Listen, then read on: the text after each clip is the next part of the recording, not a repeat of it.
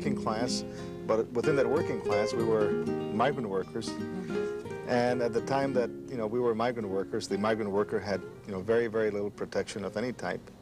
And we were just, we would just wander around the Midwest looking for work. Every year, around the middle of April, we would get uh, in the back of some truck and we'd, you know, take our few belongings, you know, las colchas, you know, some blankets and a kerosene stove, and that was it. And we'd, you know, That was it. seal up our, our house, you know, in Crystal City, and uh, put boards in the windows and the doors and get in the truck and take off uh, points north. My father had uh, no education at all, either in Spanish or in English. And he taught himself how to read and write Spanish. And he could speak English. Not, not well, but he could speak it. My mother had a two, year- you know, a second grade education. But she knew how to read and write Spanish well and uh, speak English, you know, rather haltingly. And I think she's forgotten it already, but she could. She was the one that would write uh, for my dad in English, you know, to uh, the different farms we were going to and help out with the contracts that we had. Yeah. But um, they always incul- inculcated in us a, uh, a need for learning, uh, reading. They were very, you know, they were very, um, they impressed upon us, you know, the need to read. And so they provided us with as, as, you know, as many reading materials as they could. Yeah.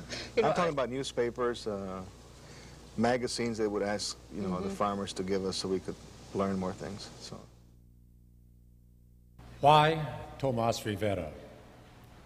Born into poverty in South Texas, fated to a childhood of migrancy, accompanying his parents as they followed the harvest each year from Texas to Minnesota. How did this poor Mexican American boy become a nationally recognized educational leader and an internationally acclaimed author whose prize winning novel, And the Earth Did Not Swallow Him, would lead filmmaker Severo Perez to adapt it into a movie whose opening scene you just watched. We may never find the full answer about this remarkable man, but maybe we can grow to know him better by listening to the words of those who admired him and loved him. And we can contemplate the words of Tomas himself, like those we've just heard, as he recalled his parents and migrant childhood experiences. While still a young boy, Tomas found inspiration in magical people who would foster his love of learning, his thirst for knowledge, and his creativity. One of those magical people was an Anglo librarian in the small town of Hampton, Iowa. She became the subject of the award winning children's book, Tomas and the Library Lady, written by Pat Mora, his University of Texas at El Paso colleague. Let's join little Tomas, standing alone in front of Hampton's imposing Carnegie Library. Tomas stood in front of the library doors. He pressed his nose against the glass and peeked in. The library was huge. A hand tapped his shoulder. Tomas jumped. A tall lady looked down at him. It's a hot day, she said. Come inside and have a drink of water. What's your name? she asked. Tomas, he said. Come, Tomas, she said. Inside, it was cool. Tomas had never seen so many books. The lady watched him. Come, she said again, leading him to the drinking fountain. First, some water. Then I will bring books to this table for you. What would you like to read about? Tigers, dinosaurs, he said. Tomas drank the cold water. He looked at the tall ceiling. He looked at all the books around the room. He watched the lady take the books from the shelves and bring them to the table. This chair is for you, Tomas, she said. Tomas sat down. Then, very carefully, he took the book from the pile and he opened it. Tomas saw dinosaurs bending their long necks to lap shiny water. He heard the cries of a wild snake bird. He felt the warm neck of the dinosaur as he held on tight for a ride. Tomas forgot about the library lady. He forgot about Iowa and Texas. Tomas, Tomas, the library lady said softly. Tomas looked around. The library was empty. The sun was setting. The library lady looked at Tomas for a long time. She said, Tomas, would you like to borrow two books? I will check them out in my name. Tomas walked out of the library carrying his books. He ran home, eager to show new stories to his family. Papa Grande looked at the library books. Read to me, he said, Tomas. First, Tomas showed him the pictures. He pointed to the tiger. Que tigre tan grande, Tomas said, to, in, first in Spanish and then in English. What a big tiger. Read to me in English, said Papa Grande. Tomas read about the tiger's eyes shining brightly in the jungle at night. He roared like a huge tiger. Papa, Mama, and Enrique laughed. They came and sat near him to hear his story. Some days, Tomas went with his parents to the town dump. They looked for pieces of iron to sell. Enrique looked for toys. Tomas looked for books. He would put the books in the sun to bake away the smell. All summer, whenever he could, Tomas went to the library. The library lady would say, First a drink of water, and then some new books, Tomas. On quiet days, the library said, Come to my desk and read to me, Tomas. Then she would say, Please teach me a new word in Spanish. Tomas would smile. He liked being the teacher. The library lady pointed to a book. Book is libro, Tomas said. Libro, she said, said the library lady. Pájaro, Tomas said, flapping his wings, flapping his arms. The library laughed. Bird, she said. On days when the library was busy, Tomas read to himself. He'd look at the pictures for a long time. He smelled the smoke at the Indian camp. He rode a black horse across a hot, dusty desert. And in the evenings, he would read the stories to Mama, Papa, Papa Grande, and Enrique. One August afternoon, Tomas brought Papa Grande to the library.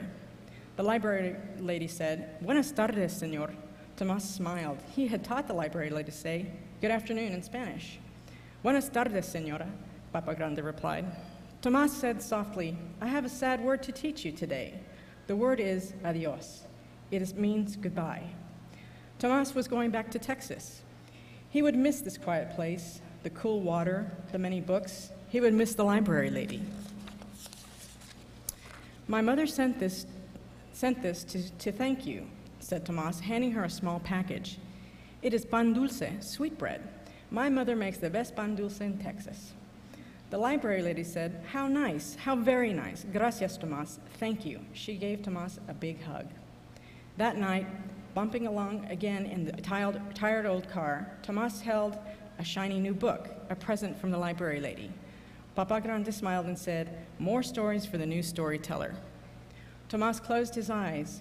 He saw the dinosaurs drinking cool water long ago. He heard the cry of the wild snake bird. He felt the warm neck of the dinosaur as he held on tight for the bumpy ride.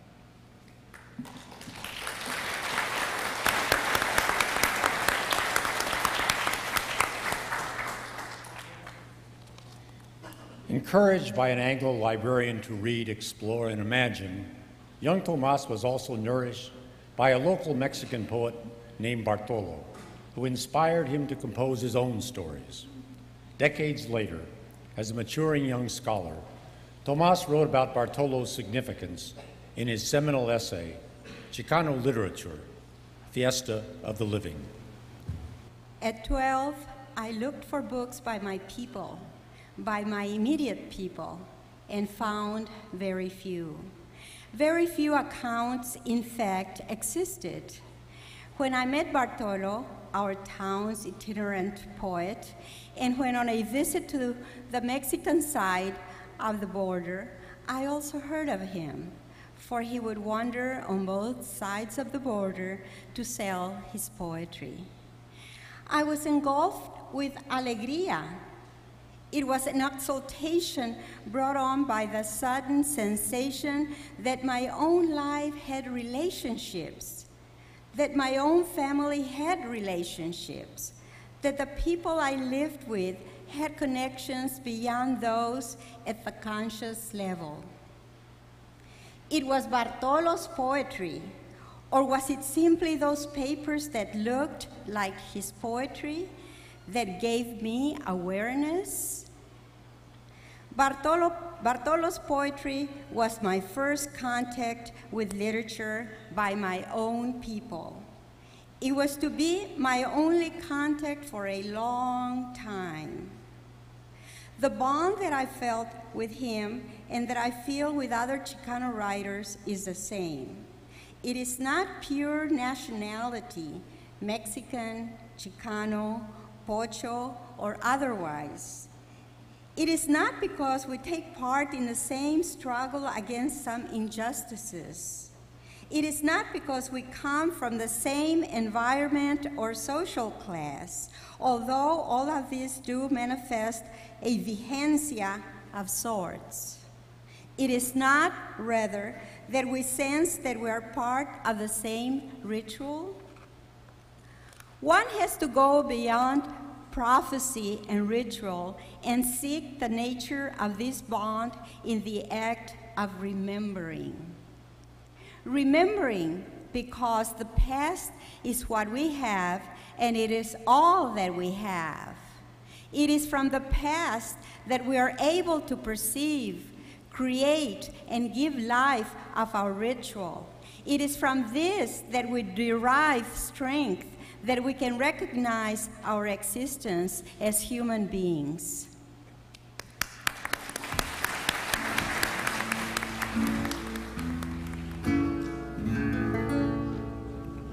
Yo sé bien, yo sé bien que estoy afuera, pero el día en que yo me muera, sé que tendrán que llorar, llorar y llorar, llorar y llorar. Sé bien que no me quisiste, pero vas a estar muy triste y así te vas a quedar. Dinero y sin dinero, yo hago siempre lo que quiero y mi palabra es la ley.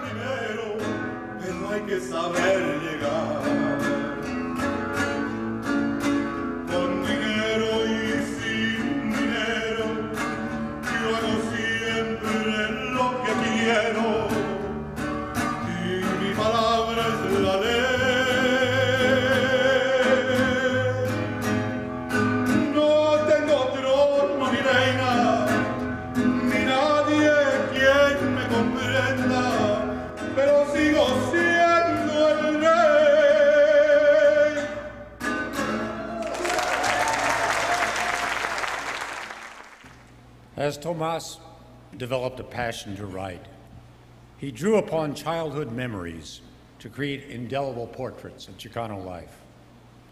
Tomas' compelling short story, The Salamanders, tells of his family's frustrating struggle to find work during a period of relentless Midwestern rainstorms, which had been causing crops to rot until finally On that day, by noon, the rain stopped and the sun came out, and we were filled with hope. Two hours later, we found a farmer that had some beets, which, according to him, probably had not been spoiled by the rain. But he had no houses or anything to live in. He showed us the acres of beets, which were still underwater, and he told us that if we cared to wait until the water went down to see if the beets had not rotted, and if they had not, he would pay us a large bonus per acre that we helped him cultivate. But he didn't have any houses, he told us. We told him we had some tents with us, and if he would let us, we would set them in his yard. But he didn't want that. We noticed that he was afraid of us. The only thing that, he, that we wanted was to be near the drinking water, which was necessary. And also, we were so tired of sleeping seated in the car. And of course, we wanted to be under the light that he had in his yard. But he didn't want us. And he told us that if we wanted to work there, We had to put our tents at the foot of the field and wait there for the water to go down. And so we placed our tents at the foot of the field and we began to wait. At nightfall, we lit up the lamp in one of the tents, and then we decided for all of us to sleep in one tent only. I remember that we all felt so comfortable being able to stretch our legs, our arms, and falling asleep was easy. The thing that I remember so clearly that night was what awakened me. And I felt what I thought was the hand of one of my little brothers. And then I heard my own screaming. I pulled his hand away, and when I awoke, I found myself holding a salamander. And then I screamed, and I saw that we were all covered with salamanders that had come out of the flooded field. And all of us continued screaming and throwing salamanders off our bodies. With the light of the lamp, we began to kill them. At first, we felt nauseated because they, we stepped on them. They oozed milk, and it seemed that they were invading us, that they were invading the tent as though they wanted to reclaim the foot of the field. I don't know why we killed so many salamanders that night. The easiest thing to do would have been to climb quickly into our car. Now that I remember, I think we also felt the desire to recover and reclaim the foot of the field. I do remember that we began to look for more salamanders to kill. We wanted to find more to kill more. I remember that I'd like to take the lamp to seek them out and to kill them very slowly. It may be that I was angry at them for having frightened me. Then I began to feel that I was becoming part of my father and my mother and my brothers and sisters again. What I remember most about that night was the darkness, the mud, and the slime of the salamanders, and how hard they would get when I tried to squeeze the life out of them. What I have with me still is what I saw and felt when I killed the last one. And I guess that's why I remember the night of the salamanders. I caught one and examined it carefully under the lamp. Then I looked at its eyes for a long time before I killed it. What I saw and what I felt is something I still have with me, something that is very pure original death. Childhood memories fueled much of Tomas' writing, but he also expanded his vistas to the broader Chicano experience. This he did, for example, in his epic poem, The Searchers. This long poem is important because it occupies a central place in Tomas Rivera's life and literary art. Consistently, in a number of videotaped and published interviews, Tomas spoke of migrant workers with admiration and respect. he told one interviewer that living among the migrant workers during the years between 1945 and 1955 made him very conscious of the suffering and strength and the beauty of migrant workers. This heightened consciousness, Tomas said, defined his role clearly to document his personal experiences with migrant workers. Beyond that, he wanted to give their experiences some kind of spiritual strength or spiritual history. I saw a lot of heroic people, he said, and I wanted to capture their feelings.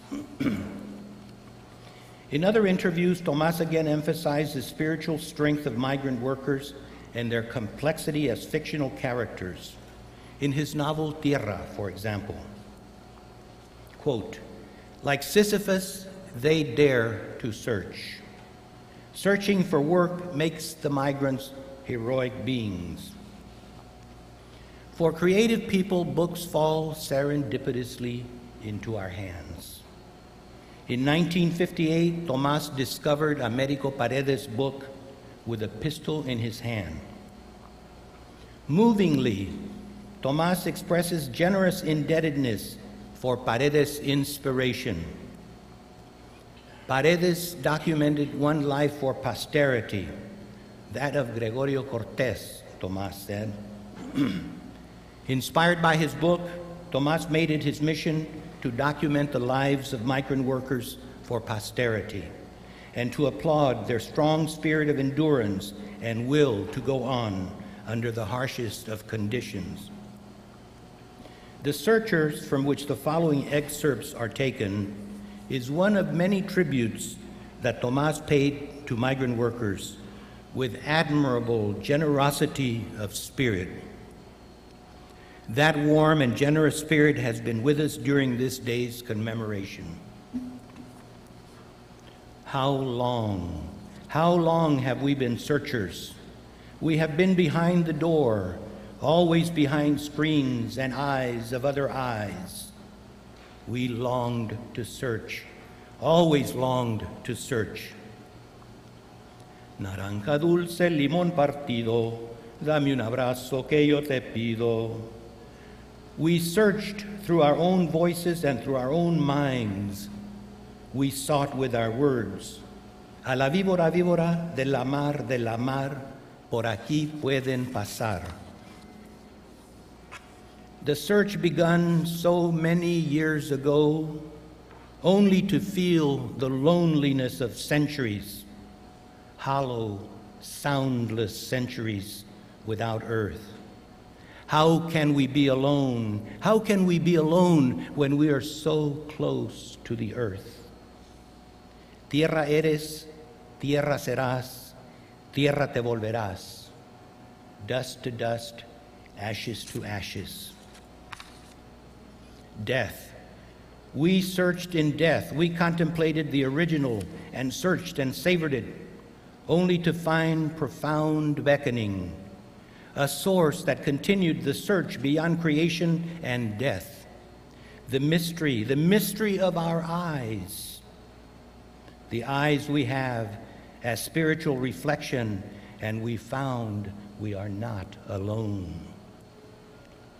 We are not alone if we remember and recollect our passions through the years, the giving of hands and backs. Dale los hombros a tus hijos we are not alone. Our eyes still meet with the passion of continuity and prophecy.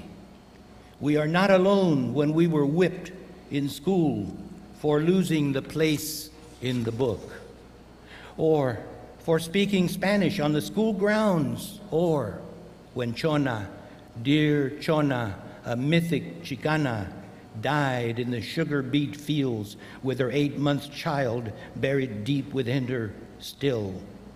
Or when that truck filled with us went off the road in Utah with screams eternally etched among the mountain snows, we were not alone in death.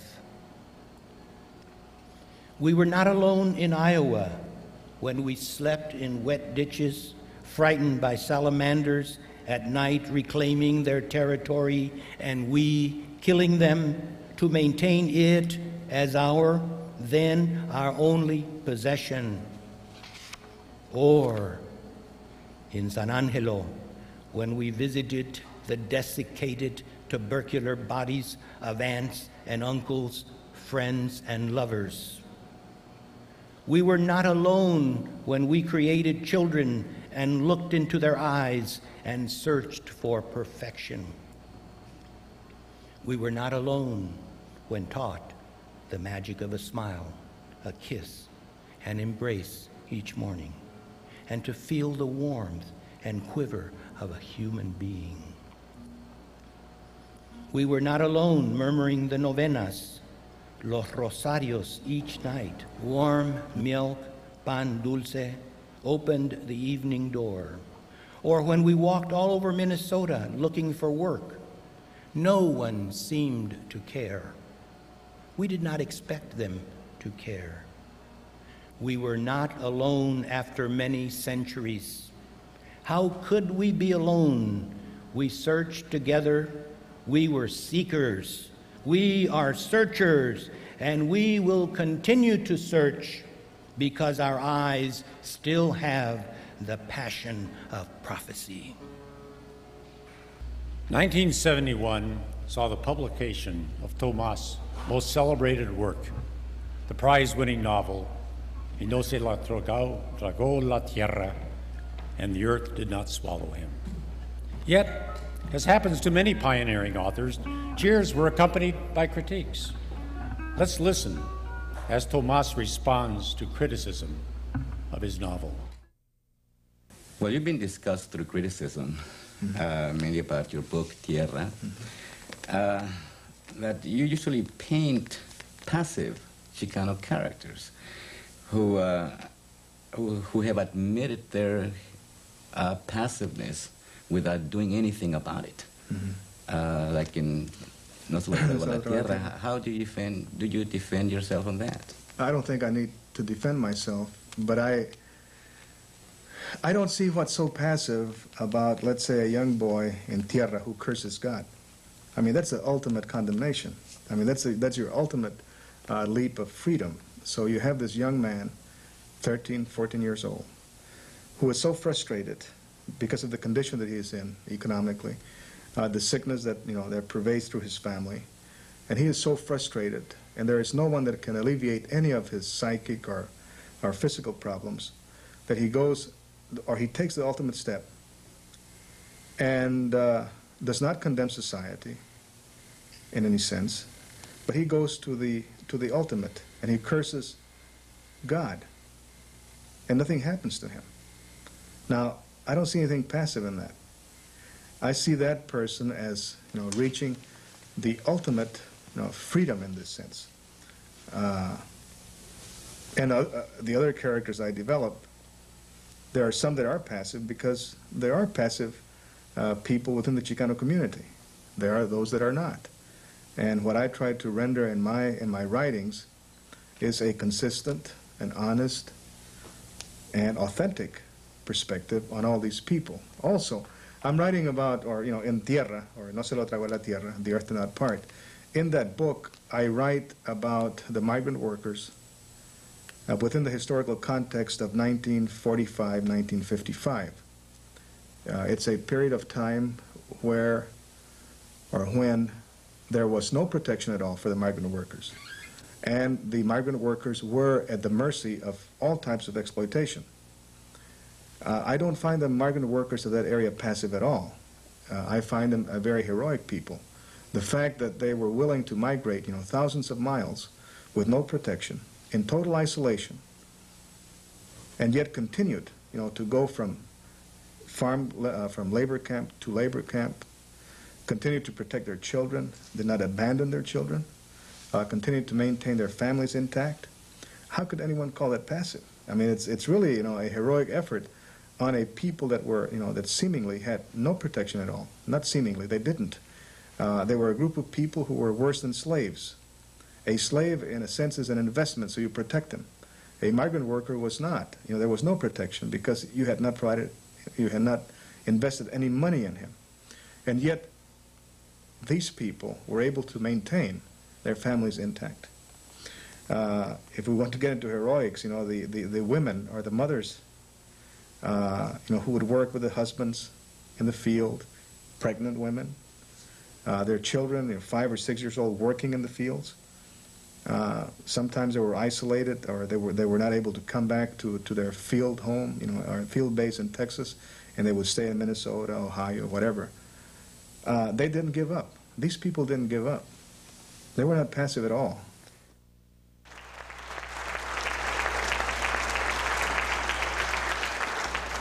Tomas described his novel as a collage of experiences.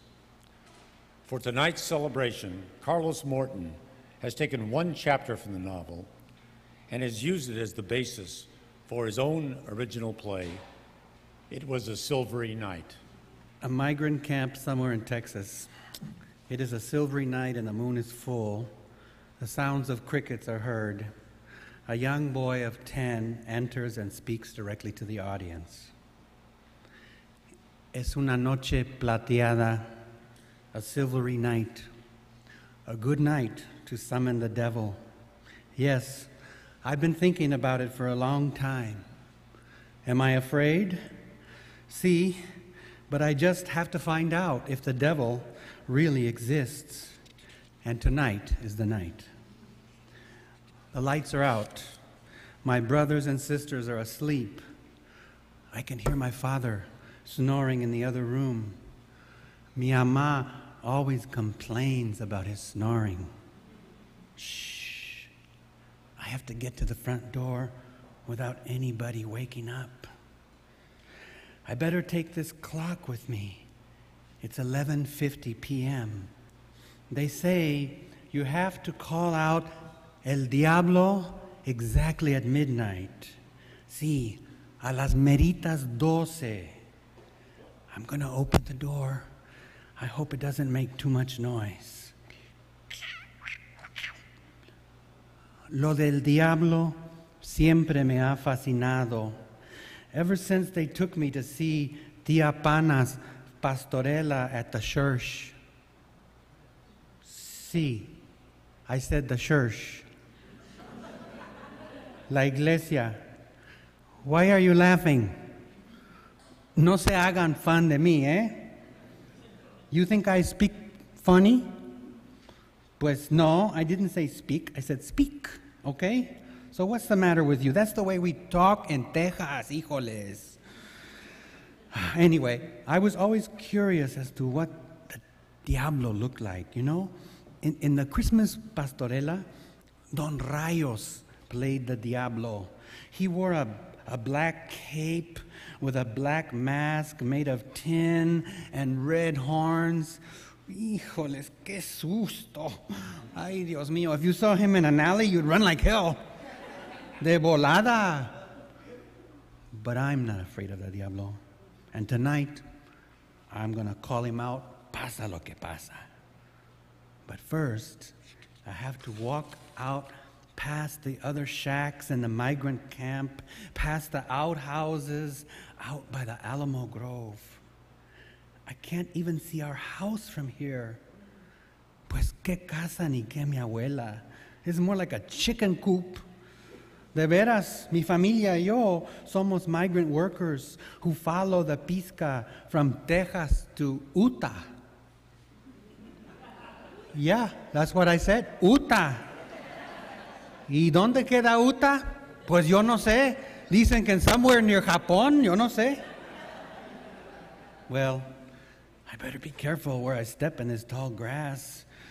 It could be, I better be careful. The salamanders, something swirling around the grass. It could be a snake. Ay, Diosito. What time is it? Midnight. A ver, a ver. ¿Cómo le llamo? ¿Cómo le llamo? God, what if he appears? No, no, no, it can't be. Maybe I better go back. No. Uh, but you know, he can't do anything to me. I'm not dead yet, right? No, all I want to know is the devil really exists or not, because if the diablo doesn't exist, then there's no.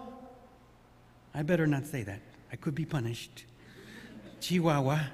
Okay, well, here I go. A ver, how do you call the diablo? Vamos a ver. Diablo. Diablo.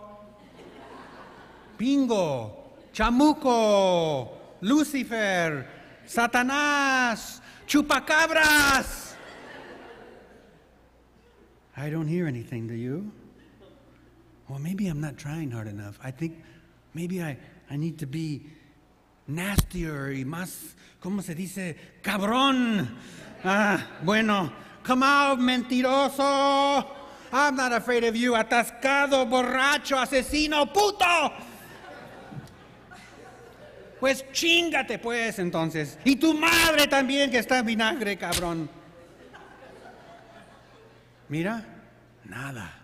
Absolutamente nada. I knew it. There's no diablo. He doesn't exist. What a relief. Chihuahua. I better get back. You know, one afternoon I lost a marble underneath Don Rayo's house, and I went underneath the crawl space to look for it, and there I found a cardboard box, and inside was a costume. The Diablo's costume. I shook off the dust and tried it on. Qué travieso que no. That's why uh, my ama always said, pues, ¿sabes qué? When I put on that costume, I became the diablo. Oh, yeah, me creía muy chingón. Órale, a ver, ¿quieren pedo? No te metes conmigo, güey, porque te rompo la madre.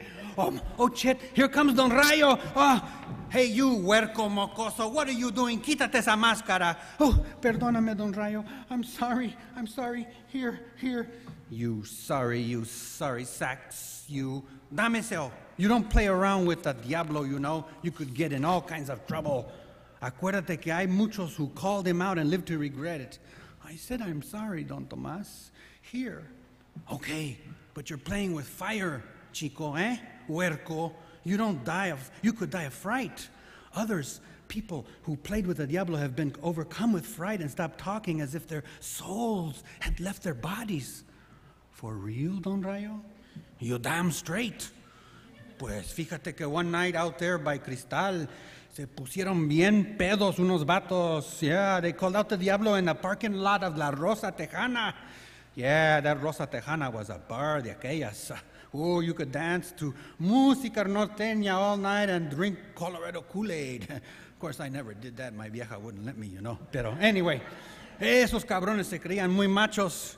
But the devil, the devil bided his time and didn't appear until later, much later. Oh, yeah, he got them one at a time. He picked them off like flies on a fly swatter, one by one, squished them, and then he pulled out their wings así. No, no, no, mijito, no se juega con el diablo. Entregas tu alma, you sell your soul. Ay, Don Tomás, Don Rayo, uh, what about you? Did you sell your soul? ¿Qué babosadas estás hablando, huerco? Well, didn't you pay the diablo? That's different, menso. I just play acting in the pastorela. Don't you know it's only make believe? Ah, chico este. Don Rayo, Don Rayo, Don Rayo. Oh, where did he go? Ay, Dios mío. Well, maybe he was right in saying that we shouldn't fool around with the diablo, you know, because everything suddenly seems clear. Those who called out the diablo and when insane did so not because they hadn't seen the diablo. On the contrary, it's because the devil did not appear. El diablo no apareció, just like me. Well, sort of. You know what I mean? Anyway, I better go to sleep. Hasta luego.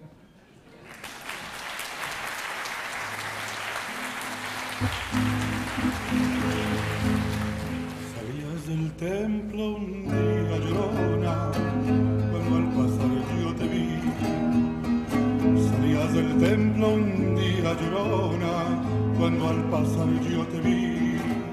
Hermoso huipil llevabas llorona, que la Virgen te creí.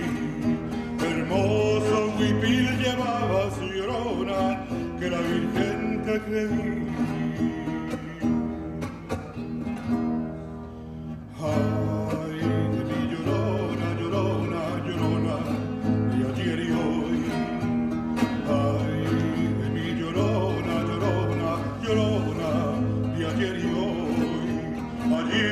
Ayer maravilla fui llorona, y ahora mi sombra soy. Ayer maravilla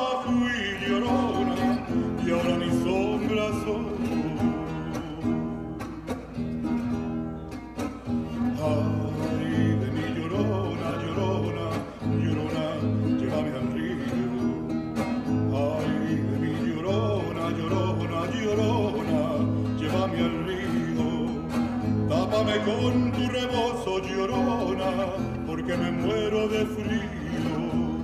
Tápame con tu rebozo, llorona, porque me muero de frío.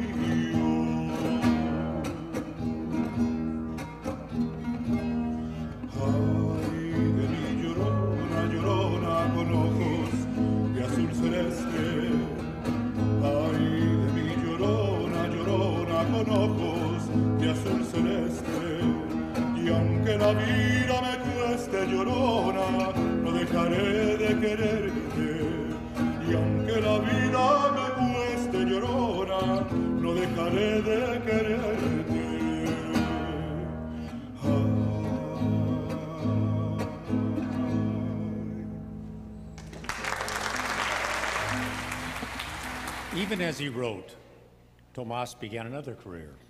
Already a professor of Spanish and Spanish American literature, he was drawn into university administration, becoming a vice president, first at the University of Texas at San Antonio, and later at the University of Texas at El Paso.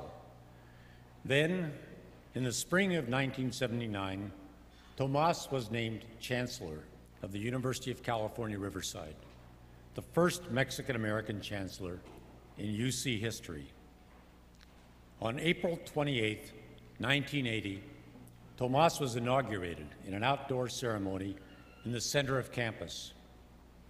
Maybe as an omen of the future, a storm hit in the middle of the ceremony, the heaviest April 28th rainfall in 36 years. That rain denied Tomas the opportunity to deliver his inaugural address. Those here tonight are about to share a unique experience. You are going to hear Tomas' 1980 inaugural address, finally, exactly one quarter century after it was scheduled.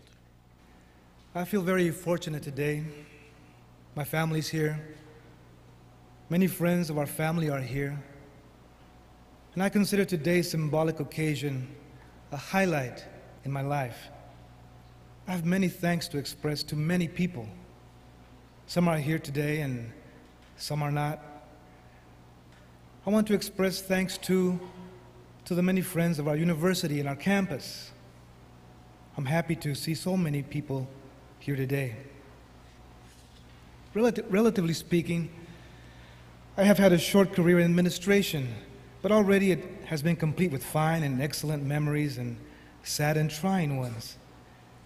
It is already complete and full with ideas and people who have cared to be involved with what is still considered the most noble of efforts the transmitting and discovery of knowledge, the urging and urge of acts of creativity, and the development of human resources. I am indeed proud to be part of the University of California.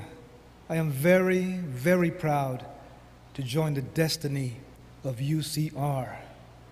There are many women and men of vision on this campus. We have, a- we have some of the finest minds on earth. We also have some of the finest students on earth. This campus has dignity and pride. This comes from a history of critical and analytical effort on the part of its faculty to maintain excellence above everything else. My nine months here have given me some of the finest moments of my life. I have, I have had exalted ones when I have sensed the type of education that our students receive. I can see that they will make a difference in our society. Likewise, I feel exalted as I have come to learn of the very excellent research, both basic and applied, that our faculty carries out. I have noted the total efforts of our fine support staff and their pride in this campus. My nine months here have given me some of the most trying moments also. We have people on our campus with courage and independence. To work with people of such independence is a most trying thing. I am personally glad to have this opportunity. There is much to do here. There is much to develop. There'll be some euphoria and much strain.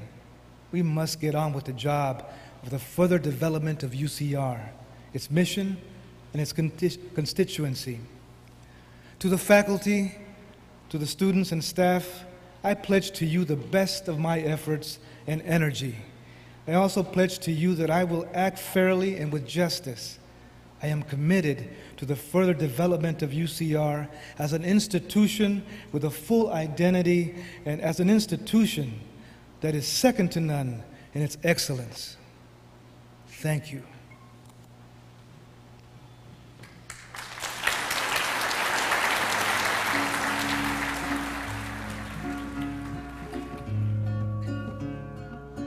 Cuatro milpas solo han quedado del ranchito que era mío. Ay, ay, ay, aquella casita tan blanca y bonita, lo triste que está.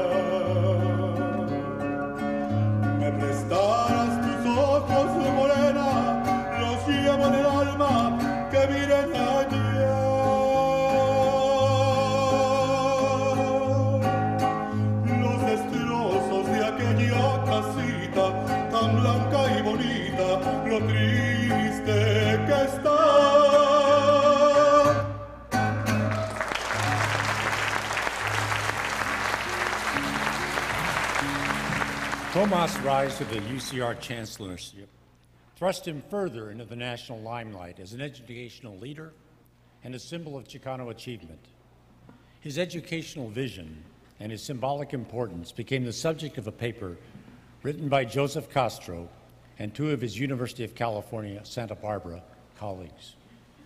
Tomas Rivera frequently spoke of his vision for UCR to become an organization of interwoven patterns of beliefs, values, and practices throughout the disciplines. In particular, his attempts to change the organizational culture of the campus were aimed towards the inclusion of students of color and other disadvantaged students. One small yet distinct example of such a gesture was the selection of a Latino song played at his inauguration ceremony. Tomas's Latino background was indeed a significant factor in how he viewed his role as chancellor and also how others viewed his role as chancellor. He often spoke of the value of higher education and, in particular, for students of color and other disadvantaged students. He recognized that he was perceived as a role model for the Latino community, yet would often try to place more emphasis on the need for increased access to education for all students. While he spent his days in the same manner as other university leaders, namely presiding over important events, receiving guests, and focusing on global policy issues, he spent many of his evenings speaking to groups of students and parents, often Latino and other groups of color, about the importance of education. Many of these events were in Riverside, but often he would travel many miles to communities throughout California and other states to give speeches to large and small audiences. Tomas was a strong advocate of improving access to education for students of color and other disadvantaged students. His vision for the Latino community was to build what he referred to as the Mexican American middle class. He called upon the community's need to develop a sense of civic morality. He felt that in order to do that, the historical pattern of discrimination in the educational system must first be acknowledged. It is evident that Tomas was aware that his appointment as the first Latino chancellor was highly significant and symbolic. Yet he realized that he was just one person and that it would take a community to develop change for Latino students or any students of color. His goal was to teach others in higher education about the concept of an abrazo, so that the gap between the university's expectations and students' expectations would be reduced for all students. Tomas believed changing the attitude and underlying values among higher education administrators, faculty, and staff was imperative to changing the patterns of access to higher education for students of color and students of disadvantaged backgrounds. He also called upon the community to accept responsibility for changing the socialization process at home for their children to continue their education. His perception as a role model for the Latino community, coupled with the fact that he was the first Latino chancellor, created a significant factor for Tomas to overcome. The expectations of any chancellor are high. The expectations of Tomas were even higher and were amplified by the expectations of the Latino community. In a speech at the University of Texas, San Antonio, Tomas remarked, When I became the chancellor at the University of California, Riverside, there were a lot of people that were very concerned. They had never heard of me. They were concerned for what might take place. But the basic concern was that UCR was an elitist institution. And here I was coming from a populous state university that does not supposedly does not have supposedly an elitist attitude. How could a Chicano trained in Oklahoma be president of UC Riverside? After my first meeting with the Academic Senate, I was interested in seeing what had been the effect of my first meeting with the faculty. One of the professors came to speak with me about it, and he said, I heard something really funny. I'm going to have to tell you this, and I don't mean this in any derogatory way. But after the meeting, one faculty member was talking to another, and he said, You know, I can understand why Governor Brown put a Chicano in as chancellor at Riverside for political reasons. But did he have to look so much like a Chicano? What is it that you enjoy the most about your, your new life, if I can say new life? It's not really a new life, but What I enjoy the most? Well, meeting different types of people. Mhm.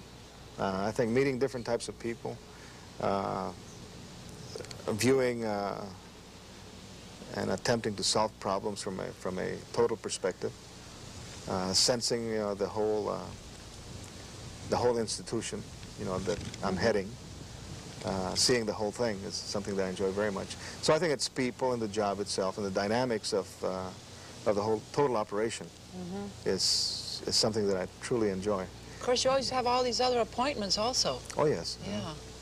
But uh, you you have uh, uh, it gives you a, you know I, I get a better picture of the whole thing. Not just not just the institution. It carries on to society itself. Yeah. You know uh, I, I'm more sensitive. I, I'm more. I think I'm more in touch with more of society than Let me I was ask before. you something else. Since I asked you what you like the most, what do you like the least? What really bugs you sometimes that I think you the you could change? yeah well probably the, the the worst thing the thing that it has that really upsets me is Uh-huh. is uh, the unfairness of people you know the selfishness in people How do you mean? well uh, and and you know um, I guess human beings are, are very very selfish we're all very selfish and we're all very unfair sometimes and uh, I see that often and that's very hard to take You see it often where well, you know, uh, coming to me uh, from every direction. You know. Uh, Why, and yeah, your position, I yeah. guess. So, Like what? What? Can you give me an example? No. Well, sure. You know, Okay, give me an if, you know, something, uh, something happens here at the institution and we get some irate citizen calling in saying, you know, blaming the whole university or saying that student, that all students are a certain way or that all faculty are a certain way or that society is rotten. that's, you know, that's hard to take because there, you know, you, you come in touch with so many fine individuals that for someone to tell you that the institution is not worth anything or that students don't, you know, are, are, are bad, uh, it's just unfair. Tomas' tenure as chancellor went well beyond vision and symbolism. It was also marked by achievement, even breakthroughs, as described in a paper written by former UCR Vice Chancellor James Erickson.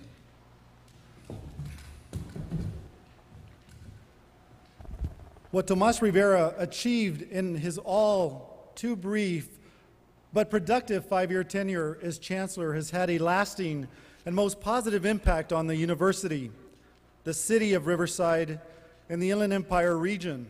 He served with such passion, quality, and dignity. And his national and global respect have also contributed to the continuing nature of his legacy.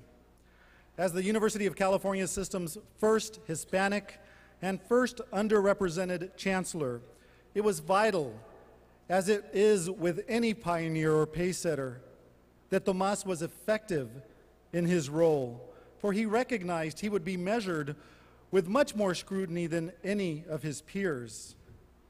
In reality, his leadership and his performance had to be exemplary so that others could follow the same path to the top of the higher education ladder. If he failed, it would have been inevitably deferred and perhaps prevented the progress of other underrepresented leaders within the University of California and the nation as a whole. Not only did he excel in his performance as chancellor, but by his example and by his bold appointments at UC Riverside, he ensured that others would have opportunities that previously had been denied people of color. His most important appointment as UCR's chancellor was his chief academic officer, the executive vice chancellor of the campus. He selected Dr. Carlton Bovell, a respected longtime UCR biology professor. Dr. Bovell was also the first African American to serve in that role on any UC campus. This appointment also ensured that UC Riverside was the only comprehensive university in America whose top two officials were underrepresented leaders. To some, even in the university community, the thought of two minority members leading the campus was greeted with criticism, with skepticism. There was a feeling that they or the campus would not be accepted in some quarters. But both men led with sensitivity and understanding and a commitment to provide opportunities for faculty and students that few leaders then or now possess. It was also Tomas Rivera who a short time later appointed the first woman vice chancellor for administration in the history of the University of California system. Eleanor Montague served in that role and thus assumed responsibilities for such traditional male roles as the physical plant supervision, the police, and budget planning. Until these pivotal appointments, few minorities and women in the Inland Empire were entrusted with the leadership positions they deserved or for which they were qualified for. How dramatically that has changed, in large part because of the example and the inspired standards of Tomas Rivera. Tomas's quiet humility, his gentle demeanor as a widely acclaimed poet, and his unassuming personal style belied a fire which motivated him to rise from his roots as a migrant worker to a man who was to be honored by then President Reagan as the National Educator of the Year. The beloved name of Tomas Rivera now adorns public schools, university libraries, endowed chairs, and public policy centers throughout California and Texas. On the UC Riverside campus, the Rivera name is permanently memorialized through the plaza outside the administration building, the major library, and an endowed chair in literature. Tomas Rivera is proof that one very special human being can make a difference in our society. As Chancellor, Tomas Rivera touched many lives. Mary Fleer, then director of the UCR Children's Center Preschool, recalls One year we asked him to play Santa for the children. We didn't know what to expect. I mean, here he was, the chancellor of the university. But he put on a Santa suit and came. We'll remember it forever. Yet, as do all university leaders, Tomas encountered campus controversies. In May 1984, the UCR Academic Senate was scheduled to address the Senate Advisory Committee's motion to form a new ethnic studies program. If established, ethnic studies would replace the existing Chicano Studies and Black Studies programs, whose faculties opposed the motion. Four days before the Senate meeting, students staged a protest against the elimination of Chicano and Black Studies. The protest occurred on May 6th at the annual UCR Open House, while Tomas welcomed visitors to the campus.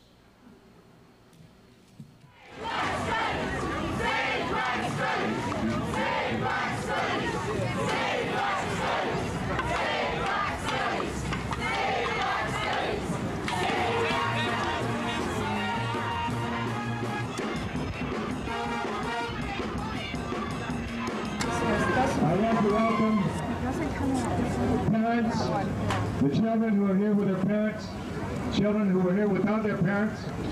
I want to welcome faculty, staff, students, administration, our group here. Yeah. Thank you very much for being here today with us. And I, I want to invite you to come again next year. We're going to be here again. Thank you.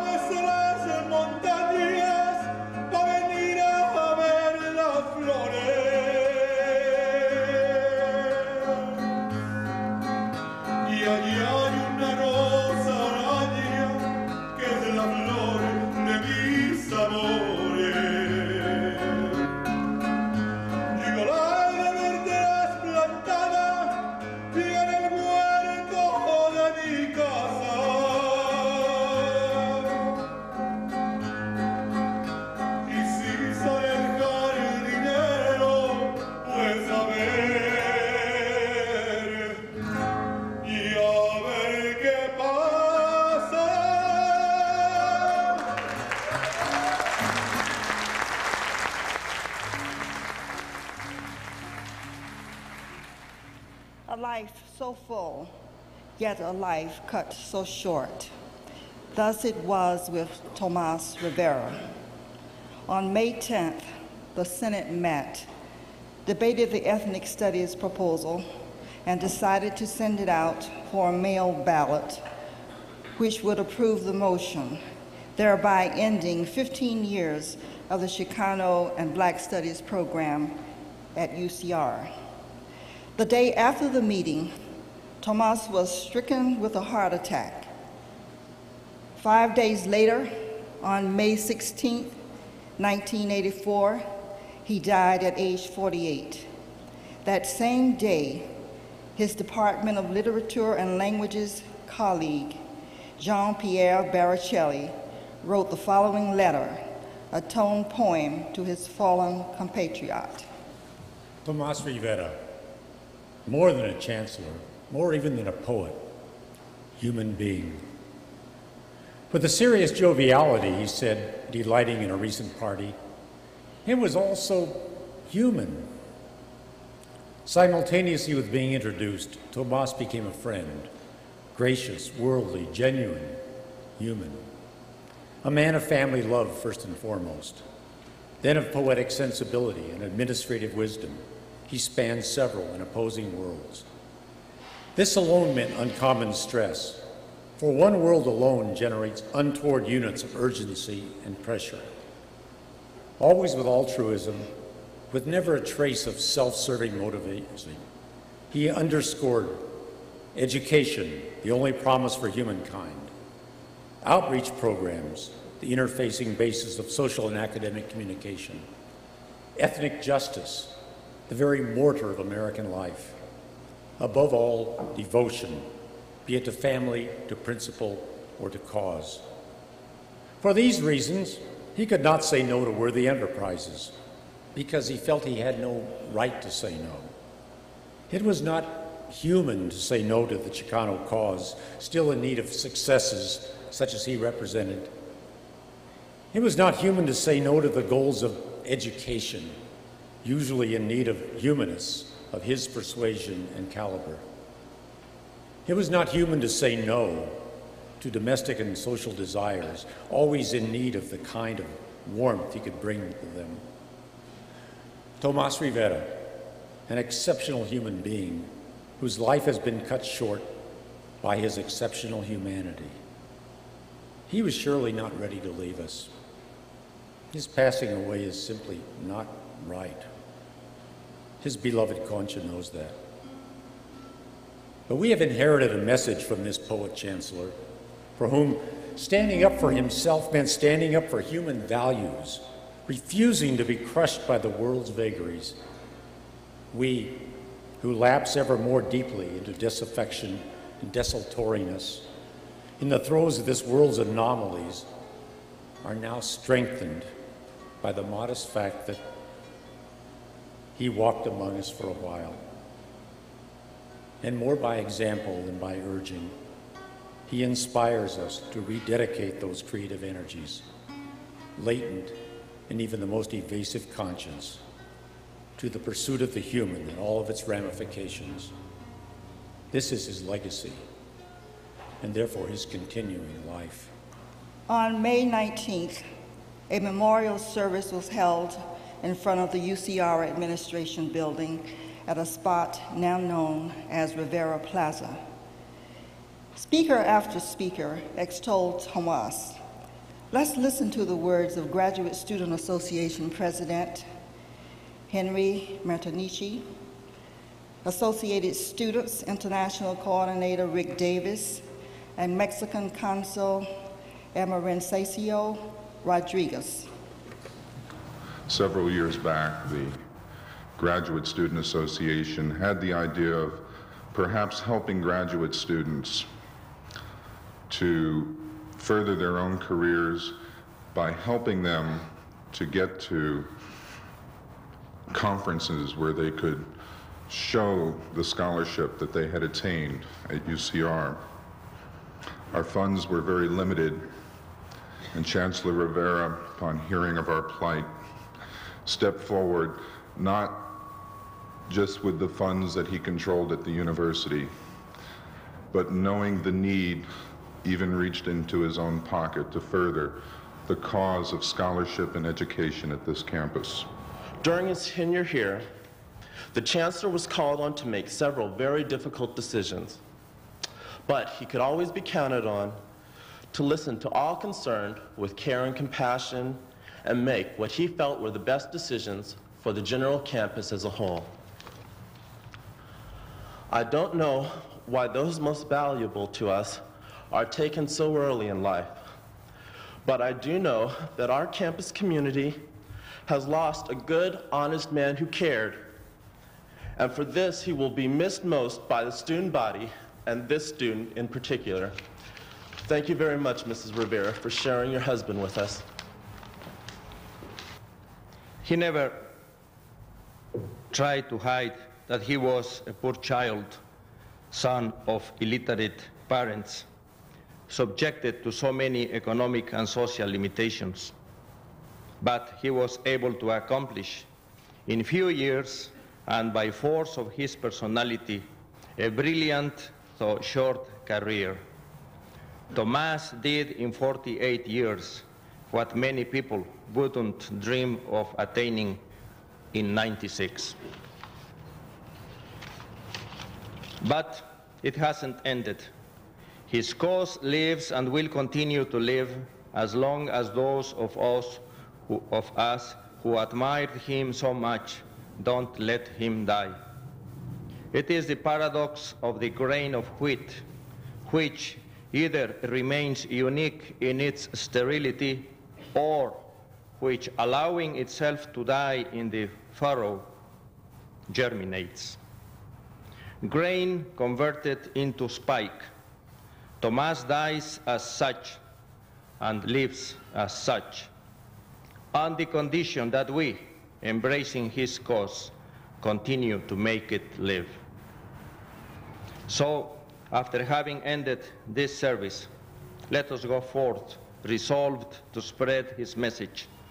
Let the urgency of acquiring an education reach all the young people so that we can attain a middle class with truly high civic values, confident in itself, sure of its historical destiny, and capable of establishing for future generations the dreams of Dr. Tomas Rivera. Concha, thank you very much. As the memorial service drew to a close, silence turned into total silence when Tomas's widow, Concha, took her place beside the podium. I want to thank everybody that has been concerned and for the love that you had expressed. I want to thank you for the calls, the flowers, the telegrams, the visits during Tomas's illness and during his death. I want you to know that Tomas believed and loved this university. He was very proud of it. It was his life. He worked very hard at it to make it better and better. He did not put into 100%.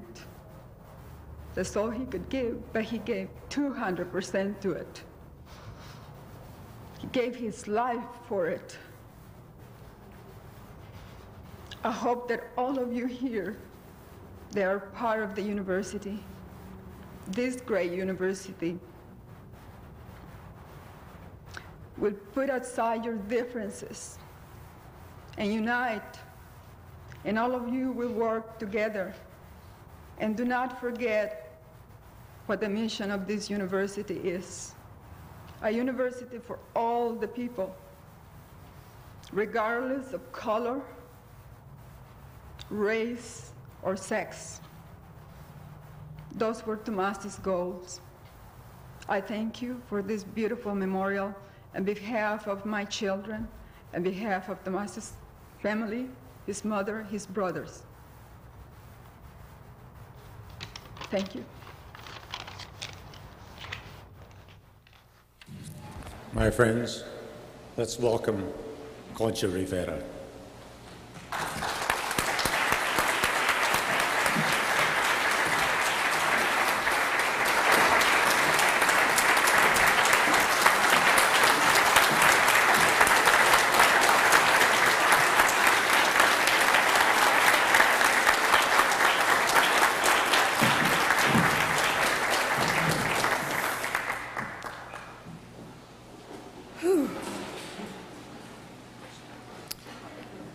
Well,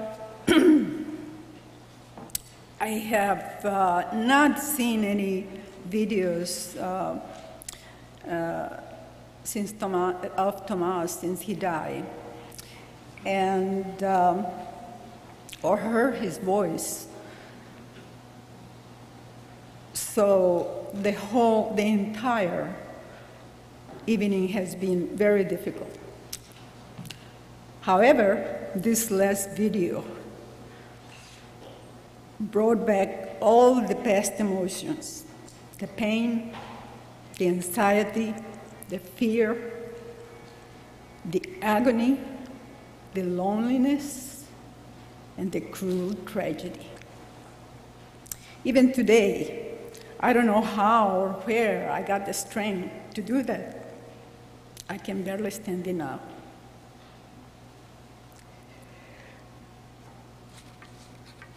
Yet, this is after the rain, and we're here to celebrate a life. Although sadly shortened, its impact continues to be so profound and immeasurable. The effects subtle and far reaching.